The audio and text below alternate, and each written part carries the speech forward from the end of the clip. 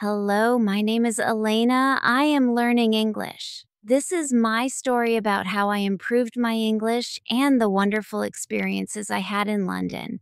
I want to tell you about my life in this fascinating city and about my amazing teacher, Mrs. Smith.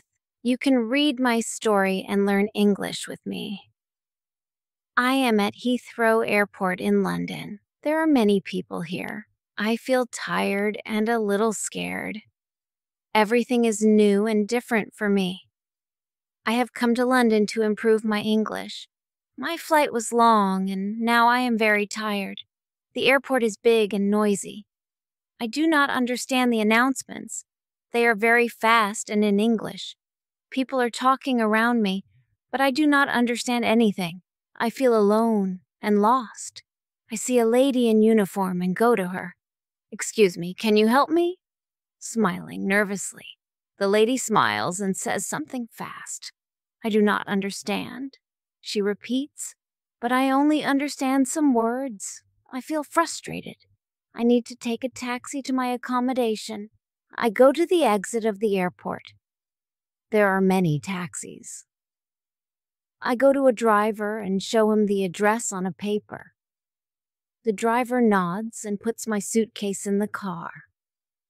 During the ride, the driver tries to talk to me. He says something about the weather, but I just smile and nod. I do not understand much of what he says. I feel bad because I cannot communicate well. Finally, we arrive at my destination. I pay the driver and enter the building. I go up to my room and fall on the bed. I am exhausted. I think about my first day in London and how hard it was. I feel my English is not enough. That night, I hardly sleep. I am worried. How will I survive in this country if I do not understand people? I need to improve my English. Today is my second day in London. Today is my first day of English class. I am excited but also a bit nervous. I want to learn English very much. I arrive at the school. The building is old and beautiful. I see many students from different countries. We all smile at each other and go to the classroom. Our teacher's name is Mrs. Smith. She is very nice and has a big smile. She welcomes us and asks us to introduce ourselves. Hello, my name is Elena. I am from Spain. I am here to learn English because I want to study and work in London. The other students also introduce themselves. There are people from Japan, Brazil, Italy, and many other places. We all want to learn English. Mrs. Smith tells us about her method of teaching. She says we will not use traditional textbooks. Mrs. Smith asks us how we studied English before and what we think is the best method to learn English. I tell her that I like watching movies with subtitles, but I don't know what the best method to learn English is. Mrs. Smith tells us that she will teach us a very effective method based on using the language. Our teacher tells us that we will not have to study and we will not use textbooks we will immerse ourselves in the language. This is great for me because I don't like studying or using textbooks. Then we talk about what we should focus on when learning a new language. Mrs. Smith tells us we need languages for communication, to share ideas and understand ideas. So, when you learn a new language, the best way to learn is to use it for exchanging ideas. This is what we will do in our course.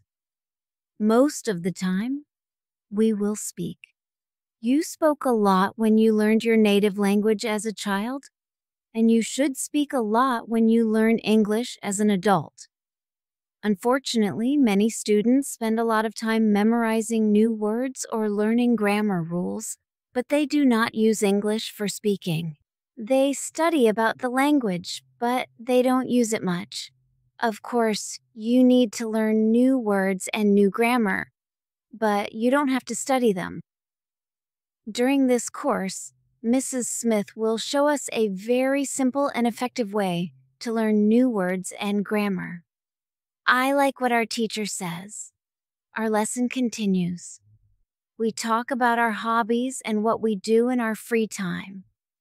We speak in pairs or with our teacher. It is great, and we talk for the whole lesson. I enjoy it so much. I have never spoken so much English during one lesson in my life. I have never learned this way before. I am happy and look forward to the next lesson. The next day, one of the students asks a question that interests me.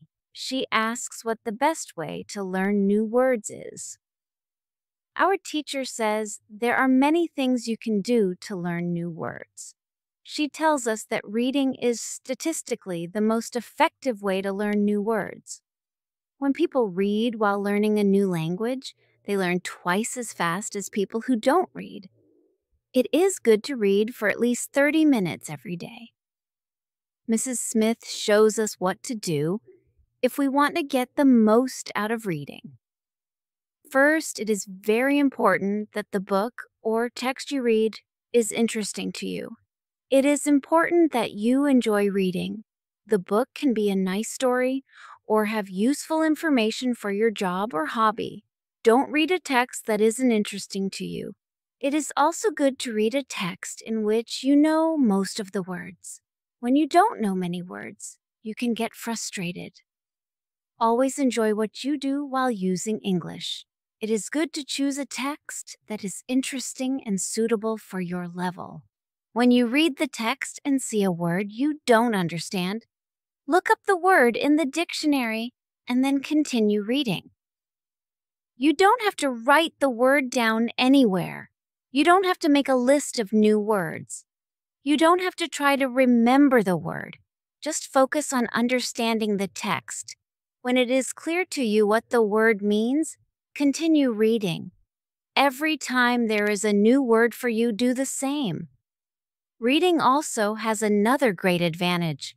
When you read, you learn new words, and also how every word is connected to other words in the sentence. Mrs. Smith's advice about reading inspired me. That evening, I went to a bookstore near my apartment. There, I found a small section dedicated to books for English learners. I chose a few books that seemed interesting and were at my level. I picked a novel about a young woman living in London, a collection of short stories, and a book about British culture. I couldn't wait to start reading them. When I got home, I made myself comfortable and began reading the novel. It was challenging at first, but I kept my teacher's advice in mind. Whenever I came across a word I didn't know, I looked it up in my dictionary. It slowed me down, but I was learning so much. After an hour of reading, I felt accomplished and motivated to continue. The next day at school, I shared my experience with my teacher and classmates. Many of them had also started reading in English. We discussed the books we chose and how we were progressing. Mrs. Smith was pleased and encouraged us to keep reading every day. Over the next few weeks, I noticed a significant improvement in my vocabulary. Reading not only helped me learn new words, but also gave me a better understanding of how sentences were structured. I started to feel more confident in my English skills. One day, our teacher introduced a new activity role playing. We were divided into pairs and given different scenarios to act out. My partner and I were given a situation where we had to pretend we were in a restaurant ordering food. This activity was fun and challenging. It forced us to think quickly and use the English we had learned in a practical way. Role playing became a regular part of our lessons. Each time, We were given different scenarios, such as booking a hotel room, asking for directions, or having a job interview. These activities were incredibly beneficial. They helped us practice real life conversations and made us more comfortable speaking English. I noticed that people were usually very patient and kind, even when I made mistakes. This encouraged me to keep practicing and improving. Looking back on my journey, I am proud of how far I have come. From struggling to speak basic sentences to running my own gallery in London, it has been an incredible journey. Learning English opened up so many opportunities for me and changed my life in ways I never imagined. I am grateful for my teacher and the methods she taught us. They were effective and enjoyable and made learning English a positive experience. I am also thankful for all the people who supported me along the way in London. If you enjoyed this video, you should definitely check out How Writing Improves Your English. Click here to watch the next video and continue your learning journey.